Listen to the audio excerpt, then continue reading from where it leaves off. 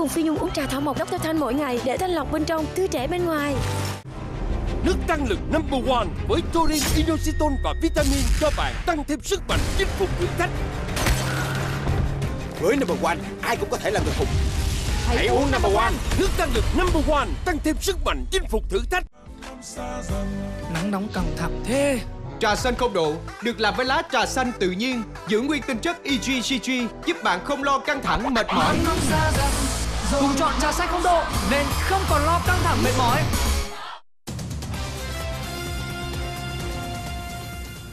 Chào mừng quý vị đến với chương trình Tiêu điểm 365 được phát sóng trên đài phát thanh và truyền hình Lâm Đồng. Chương trình hôm nay sẽ có một số nội dung đáng chú ý sau đây. Khánh Hòa công bố nguyên nhân cá chết và khuyến cáo người nuôi thủy sản. Bình Phước, một phải năm giảm, hướng đi mới cho nông dân trồng lúa. Bắt giữ đối tượng tàn trữ súng quân dụng và thuốc nổ trái phép.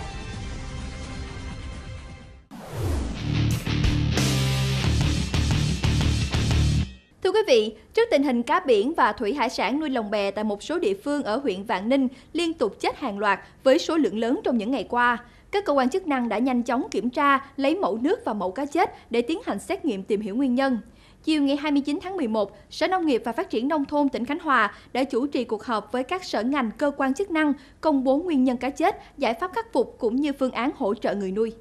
Theo diễn biến hiện tượng cá chết xuất hiện vào 3 giờ sáng ngày 24 tháng 11 thuộc khu vực thôn Vĩnh Yên, xã Vạn Thạnh, huyện Vạn Ninh, sau đó lan rộng ra toàn vùng biển Vịnh Vân Phong. Các loại cá nuôi lồng bị chết gồm cá bóp, cá chim, riêng cá tự nhiên chủ yếu là các loại sống dưới tầng đáy như cá bống, cá chai, tôm cua. Hiện tại hiện tượng cá tự nhiên chết đã chấm dứt, nhưng cá nuôi vẫn tiếp tục chết. Số lượng cá tự nhiên chết khoảng trên 20 tấn, còn cá nuôi thiệt hại đến 200 tấn. Qua thực tế khảo sát của người nuôi thủy sản và các cơ quan chức năng, nước biển ở những nơi có cá chết xuất hiện màu đỏ, có mùi hôi và sánh đặc. Dựa trên kết quả phân tích đánh giá của các chuyên gia thủy sản và các nhà khoa học, kết quả phân tích xét nghiệm đã khẳng định độ tin cậy, tính chính xác và khách quan xác định nguyên nhân gây nên hiện tượng thủy sản chết tại vùng biển Vịnh Vân Phong được xác định là do các loài tảo độc. Tôi cũng có nhận định rằng là là do tảo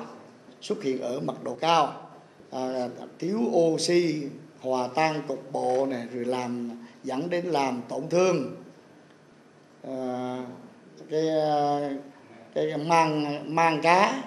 à, rồi nội tạng cá để gây cho hiện tượng cá chết chứ không còn cái nguyên nhân nào nào khác Ngoài việc công bố nguyên nhân cá chết do tảo độc, các chuyên gia cùng với các nhà khoa học cũng đề nghị ngành chức năng thông báo tới người dân về lượng cá đã chết. Do tảo làm cá bị chết ngạt nên các loại cá bị chết cũng không có độc tố, vì thế người dân vẫn có thể sử dụng cá làm thức ăn cho gia súc gia cầm. Trước diễn biến phức tạp của dịch bệnh Zika, sáng ngày 30 tháng 11, hơn 100 bác sĩ thuộc các bệnh viện đầu ngành thành phố Hồ Chí Minh đã tham dự buổi tập huấn thu dung và điều trị bệnh do virus Zika đối với thai phụ. Buổi tập huấn có sự tham gia của lãnh đạo Sở Y tế thành phố Hồ Chí Minh cùng hơn 100 bác sĩ, đại diện đến từ các bệnh viện đầu ngành như bệnh viện Từ Dũng, bệnh viện Hùng Vương, bệnh viện Bệnh nhiệt đới và Trung tâm Y tế Dự phòng thành phố Hồ Chí Minh.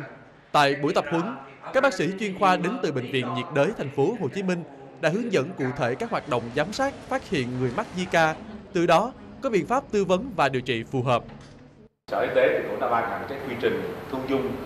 xử lý bệnh nhân phụ nữ mang thai mà nghi ngờ nhiễm Zika. Yêu cầu rõ ràng là tất cả chúng ta phải nắm thật chặt cái quy trình thu dung này. Thời gian qua, số lượng thai phụ yêu cầu tư vấn xét nghiệm tăng đột biến do quá hoang mang, lo lắng. Điều này đã gây áp lực không nhỏ cho các bác sĩ và các bệnh viện. Tính đến ngày 29 tháng 11, thành phố Hồ Chí Minh đã ghi nhận 14 thai phụ bị nhiễm Zika, trong đó có hai thai phụ đã sinh con an toàn và hai trường hợp thai lưu bị sảy thai, một trường hợp chủ động chấm dứt thai kỳ. Chiều tối ngày 29 tháng 11, đội quản lý thị trường Củ Chi thành phố Hồ Chí Minh cho biết vừa tiến hành kiểm tra và phát hiện gần 6 tấn kẹo đã hết hạn sử dụng của một cơ sở sản xuất kinh doanh bánh kẹo nằm trên địa bàn huyện. Hiện cơ quan chức năng đã tạm giữ toàn bộ số hàng trên để xử lý theo quy định của pháp luật. Theo đó, lực lượng chức năng tiến hành kiểm tra một cơ sở sản xuất kinh doanh bánh kẹo trên địa bàn xã Tân Thông Hội, huyện Củ Chi và phát hiện gần 6 tấn kẹo me, kẹo ô mai đã hết hạn sử dụng. Hơn 1,5 tấn mảng cầu đã tách vỏ, tách hạt được chứa trong thùng nhựa không nắp đậy. Hàng ngàn bao bì nhựa trên nhãn ghi hết hạn sử dụng đã cắt miệng lấy thành phẩm. Tại thời điểm kiểm tra, nguyên liệu kẹo được để gần nhà vệ sinh, gần chuồng gia cầm, thành phẩm kẹo để trên nền nhà dơ bẩn không đảm bảo vệ sinh. Làm việc với cơ quan chức năng, đại diện cơ sở trên không xuất trình được bất cứ giấy tờ, hóa đơn chứng từ liên quan đến hoạt động sản xuất kinh doanh. Hiện cơ quan chức năng đã tạm giữ toàn bộ số hàng hóa phương tiện trên để xử lý theo quy định. Ngày 29 tháng 11, Phòng Cảnh sát Kinh tế Công an tỉnh Lâm Đồng đã bắt một lượng lớn hàng tân dược, dụng cụ y tế và thực phẩm chức năng tại số nhà 46B, Cao Bá Quát, phường 7, thành phố Đà Lạt. Tại địa chỉ nói trên, ông Trần Thanh Sơn sinh năm 1989, quê Ninh Bình, đã cung cấp các giấy tờ liên quan như giấy phép kinh doanh, chứng từ thuế. Tuy nhiên, ông Sơn không có các loại giấy tờ quan trọng như giấy chứng nhận đủ điều kiện kinh doanh, chứng chỉ hành nghề. Hiện cơ quan điều tra đang xem xét chứng từ hợp đồng mua bán để xác minh nguồn gốc xuất xứ, tịch thu và xử lý theo quy định. Sáng ngày 30 tháng 11 tại thành phố Nha Trang, Olympic tin học sinh viên Việt Nam lần thứ 25 và kỳ thi lập trình sinh viên quốc tế ACM ICBC Asia lần thứ 42 đã chính thức được khai mạc. Olympic tin học sinh viên Việt Nam lần thứ 25 kết nối cùng với kỳ thi lập trình sinh viên quốc tế ACM ICBC lần thứ 42 khu vực châu Á tại điểm thi Nha Trang được tổ chức từ ngày 29 tháng 11 đến ngày 2 tháng 12 năm 2016. Hội thi tụ hội hơn 500 sinh viên công nghệ thông tin truyền thông ưu tú từ 62 trường đại học và cao đẳng cả nước, cùng 13 đội tuyển quốc tế đến từ Hàn Quốc, Trung Quốc, Singapore, Indonesia và Đài Loan. Ờ, là một học sinh viên đại học Nha Trang, em thấy rất hạnh diện khi được là một thí sinh để tham gia đại diện cho trường đối với cuộc thi này. Trong tháng 11 đã có 9 đội tuyển Việt Nam thi đấu tại vòng loại Jakarta và Bangkok với vị trí thứ ba. Sau vòng loại Nha Trang này, 7 đội tuyển Việt Nam sẽ tiếp tục thi đấu tại vòng loại Manila và Yangon vào tháng 12 năm 2016. Các đội tuyển Việt Nam quyết tâm bước vào khu vực châu Á nhằm giành vị trí tham dự ACM ICBC toàn cầu 2016, được tổ chức tại Rapid City, Bỉ vào tháng 5 năm 2017. Thưa quý vị, Ủy ban Liên Chính phủ Công ước Bảo vệ Di sản Văn hóa Phi vật thể 2003 của UNESCO mới đây chính thức họp phiên toàn thể tại Ethiopia. Tại phiên họp này, hồ sơ quốc gia tín ngưỡng thờ mẫu tam phủ của người Việt chính thức được Ủy ban Liên Chính phủ Công ước Bảo vệ Di sản Văn hóa Vật thể 2003 của UNESCO xem xét ghi danh là di sản văn hóa phi vật thể đại diện của nhân loại. Mang đậm sắc thái riêng của cư dân Việt vùng châu thổ Bắc Bộ, tín ngưỡng thờ mẫu tam phủ của người Việt mang những giá trị văn hóa tâm linh và sức sống mãnh liệt, lan tỏa tới nhiều địa phương trong cả nước và cả hải ngoại. Theo Phó Giáo sư Tiến sĩ Từ Thị Loan, quyền Viện trưởng Viện Văn hóa Nghệ thuật Quốc gia Việt Nam, đơn vị chủ trì xây dựng hồ sơ tín ngưỡng thờ mẫu tam phủ của người Việt. Hồ sơ này là một trên 18 hồ sơ quốc gia đạt đủ 5 tiêu chí của UNESCO, xét ghi danh vào danh sách di sản văn hóa phi vật thể đại diện của nhân loại.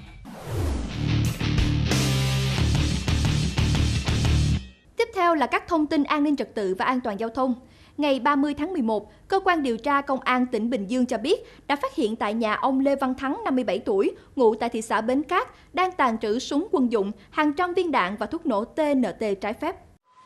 Tại nhà ông Thắng, cơ quan công an thu giữ được một khẩu súng quân dụng dài khoảng 1,5 mét hiệu mos do Đức sản xuất, gần 100 viên đạn các loại, thêm vào đó là hơn 500 viên đạn chì, nhiều đầu đạn, vỏ đạn và 6,5 kg thuốc nổ TNT khác được chứa trong bịch ni lông. Cơ quan điều tra đã tạm giữ người và tan vật để phục vụ công tác điều tra. Trước đó, tại nhà ông Đặng Bùi Thanh Phong, 36 tuổi, ngụ tại xã Thuận An, các cơ quan công an cũng phát hiện ông Phong đang tàn trữ trái phép 11 khẩu súng các loại, cũng như 6 ống ngắm, hàng trăm viên đạn và nhiều bộ phận khác của súng như cò, nòng, lò xo, bán súng. Sáng 29 tháng 11, Tòa án Nhân dân tỉnh Hà Tĩnh đã mở phiên tòa xét xử sơ thẩm bị cáo Nguyễn Văn Bổng, nguyên Chủ tịch Ủy ban Nhân dân huyện Kỳ Anh, cùng năm đồng phạm từng là cán bộ cấp huyện và xã về hành vi cố ý làm trái quy định của nhà nước về quản lý kinh tế, gây hậu quả nghiêm trọng. Theo cáo trạng, trong quá trình thực hiện bồi thường hỗ trợ giải phóng mặt bằng, nhường đất cho dự án Formosa, ông Bổng và cấp dưới đã cố ý làm trái các quy định để hợp thức gần 80 hecta đất công do diện được bồi thường, lập danh sách khống cho các hộ dân đứng tên rồi hưởng tiền bồi thường hàng chục tỷ đồng. Ngày 29 tháng 11, cơ quan cảnh sát điều tra công an thành phố Đà Nẵng đã di lý đối tượng Mạc Giang Nhân, 24 tuổi, quê Quảng Nam, nghi can gây ra vụ cướp hiếp chủ quán cà phê trên đường Cách mạng tháng 8, quận Cẩm Lệ, Đà Nẵng, gây xôn xao dư luận. Theo lời khai ban đầu, khoảng 1 giờ 30 phút ngày 23 tháng 11, Nhân đột nhập vào một quán cà phê sau khi dùng dao tấn công em trai của nạn nhân, khiến người này suýt tử vong. Đối tượng xông vào phòng ngủ uy hiếp ép nạn nhân quan hệ tình dục rồi cướp tài sản. Sau khi gây án, đối tượng trốn vào thành phố Hồ Chí Minh và bị công an Đà Nẵng phối hợp công an thành phố Hồ Chí Minh bắt giữ vào chiều ngày 28 tháng 11.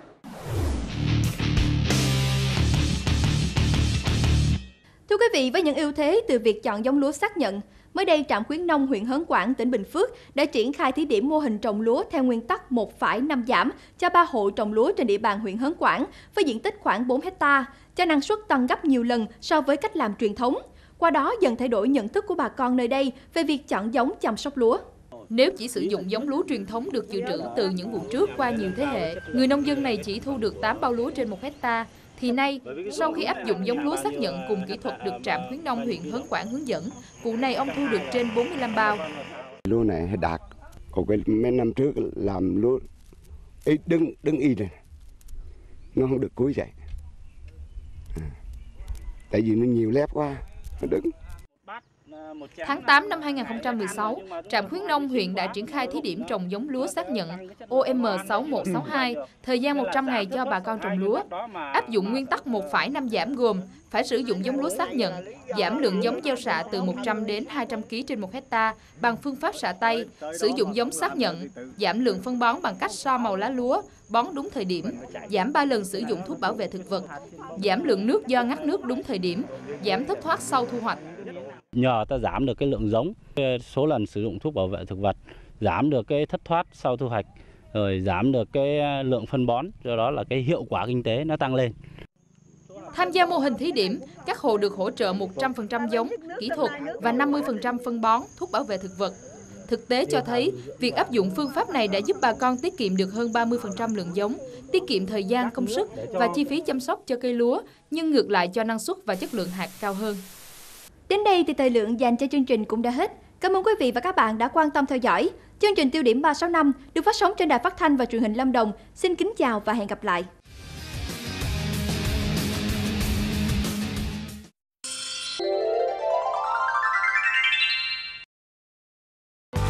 Hãy cùng Phi Nhung uống trà thảo mộc Dr. Thanh mỗi ngày để thanh lọc bên trong, tươi trẻ bên ngoài.